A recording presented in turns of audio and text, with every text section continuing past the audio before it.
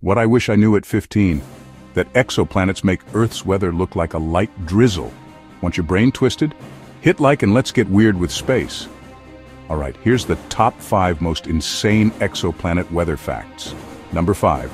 On HD, 189733b it literally rains glass. Sideways at 4,500 miles per hour. Sunglasses won't help.